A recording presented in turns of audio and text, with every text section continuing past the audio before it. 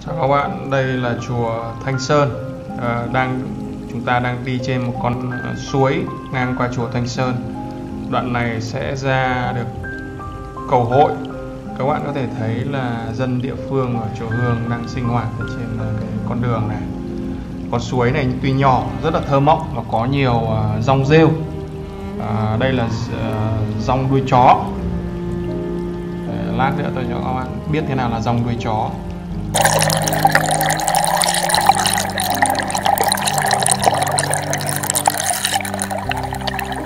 À, đây, tôi đang à, đuổi theo chị à, Phương Anh.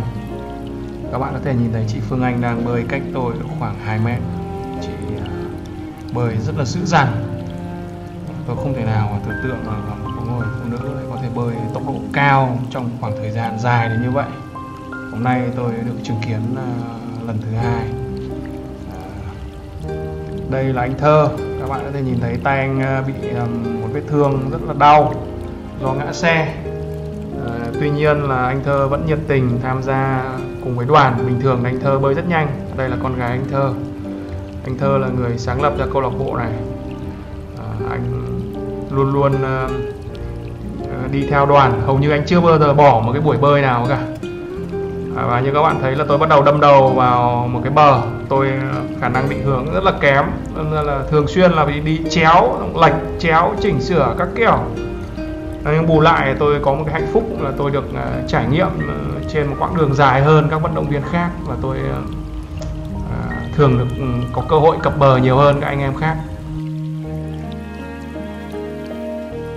Xem lại động tác của chị Phương Anh rất là rất khoát nhẹ nhàng à, chị có cách lấy định hướng khá tốt có nghĩa là sau khoảng 6-7 nhịp bơi chị à, nhổm đầu lên để nhìn lại hướng. Thì đây là một cái kinh nghiệm rất là quý báu cho anh em à, bơi đường trường. Và nếu mà không có định hướng tốt thì chúng ta sẽ rất mệt để chỉnh hướng lại.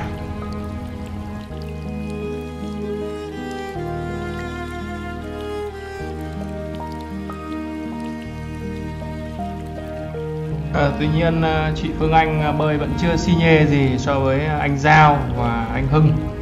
Thực ra là anh Giao và anh Hưng đã vượt chúng tôi một khoảng cách rất là xa. Tôi không rõ là bạn các anh ấy đang ở đâu nữa nhưng mà tôi nghĩ là các anh phải vượt độ khoảng hơn 100 mét. Đây là hai vận động viên thực sự là có thể lực tốt và sức bền khủng khiếp. Có nghĩa là họ quạt rất đều tay à, và động tác thì rất là nhẹ nhàng. Người quay ờ, cái clip này là anh truyền. Anh truyền là người ờ, thường đi, thường xuyên đi theo đoàn, đèo chị ờ, Phương Anh đi. Anh truyền có một cái cách quay rất là đẹp. Tất nhiên là lúc nào mà quay chị Phương Anh thì còn đẹp nữa. Các bạn thể thấy là những cảnh có chị Phương Anh này cực kỳ thơ mộng. Nói chung là anh em nào mà được xem những video clip này chỉ muốn nhảy xuống hồ, bơi ngay và luôn các bạn thể thấy tôi đang à, đi sau chị Phương Anh độ khoảng 10 mét. Tay tôi quạt khá là chậm, Trông nó vẻ uể oải. Đấy là phong cách bơi của tôi. Có lẽ là sau sau này nếu mà có thời gian tôi sẽ à, tầm sư học đạo chuyên nghiệp hơn. Nhưng còn hiện giờ thầy giáo của tôi là Youtube. À, anh Giao. Anh Giao thì kinh khủng rồi. Anh Giao và anh Hưng là hai vận động viên đội mũ đỏ họ luôn luôn ờ, dẫn đoàn. Thường thì anh Hưng thì có cái thể lực nó bền hơn có nghĩa là anh Hưng bơi dài hơn. Thế còn anh Giao thì ở những cự ly 4.000 m 5.000 m thì anh Giao bơi rất là tốc độ. Ở trong lần bơi ờ, Hồ Hòa Bình vừa rồi thì anh Giao về thứ ba. Nhưng mà nghe nói là anh Giao đến phút cuối anh chán quá anh ngồi anh đứng một lúc. Đấy, đây là bến trò. Và từ đây chúng ta sẽ leo lên vào động hương tích nếu mà đi tiếp nữa thì các bạn có thể thấy là chúng ta sẽ vào đến ờ, một cái điểm cuối cách đây độ khoảng 1,2 cây. Đây là anh Hưng anh Hưng đội mũ đỏ.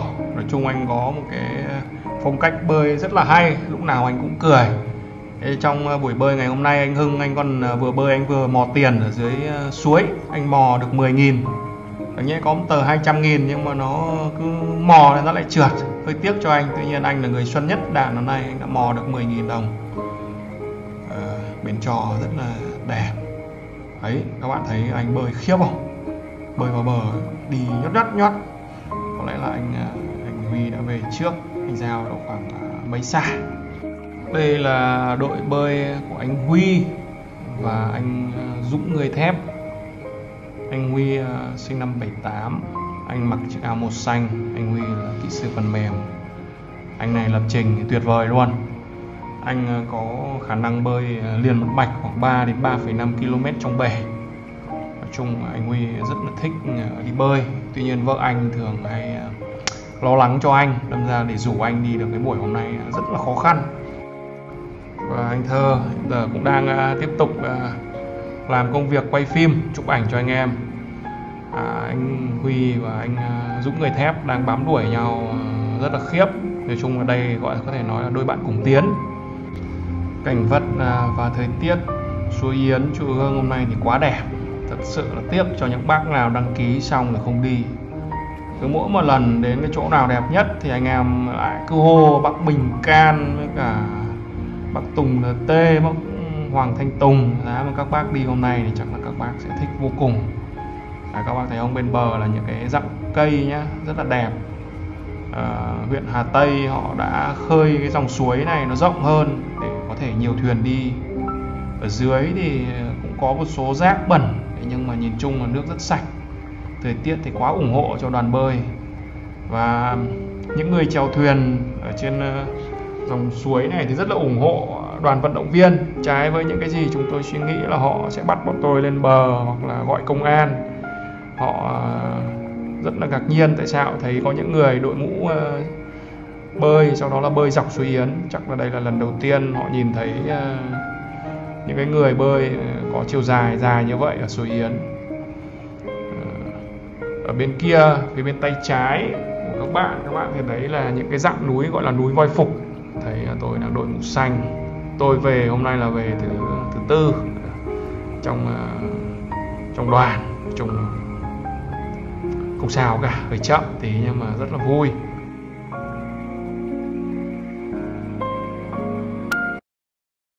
Đẹp chưa? Ở đây có khá là nhiều cá nhưng mà cá thường là nó ở trong cái lạch ở chỗ chùa Thanh Sơn. Thế còn ra đây nước trong thì tôi chưa thấy cá lúc bơi nhưng mà rất là nhiều rêu. À, tôi vừa bơi vừa nghe nhạc chung là rất thư giãn.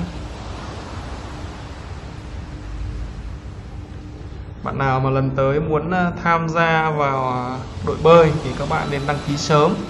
Chú ý là nếu mà đã đăng ký ờ, chốt lịch đi rồi thì đừng đừng bỏ bởi vì là hầu hết các buổi bơi thì đều diễn ra suôn sẻ và rất là đẹp.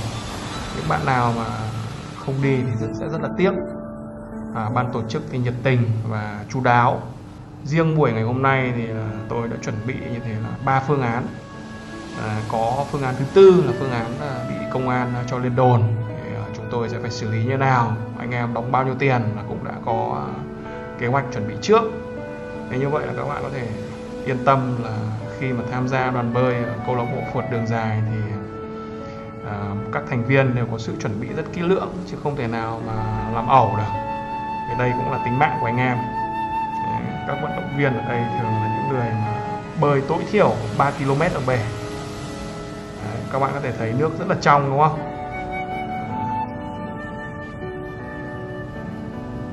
Trong vắt luôn.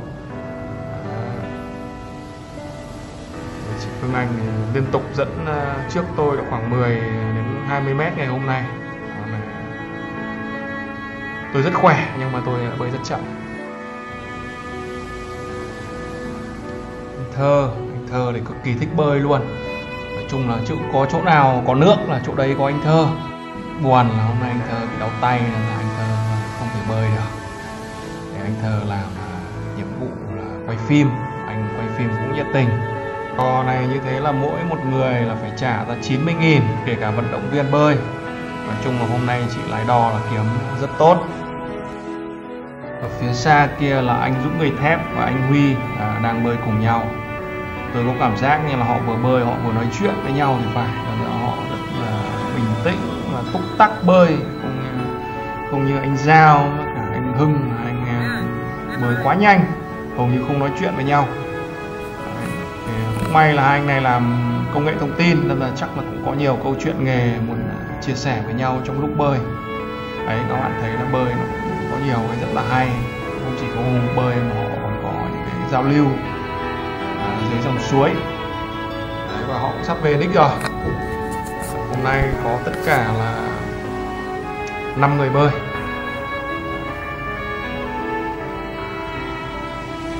Đây các bạn có thể thấy thấy bờ kè của bến trò đã ở phía bên góc bên tay phải phía dưới màn hình của các bạn.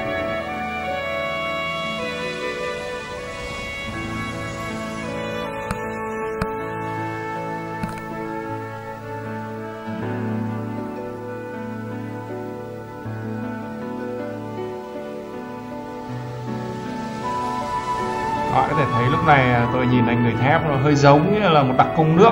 Trên đầu anh là ít rong đuôi chó. À, còn đánh à, huy là rất quyết liệt. À, bơi về đích.